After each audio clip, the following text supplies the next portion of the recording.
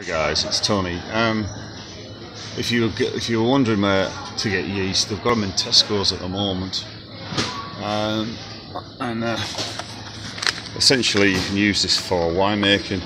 This is eight sachets, 56 gram, which isn't amazing, but it'll do you until something else comes along. Because I don't know when the Allinson stuff's going to be back in, but it works out at 56 grams well, it's just slightly cheaper anyway, so in case you're wondering, it's Tesco's I got there. Thanks. Bye.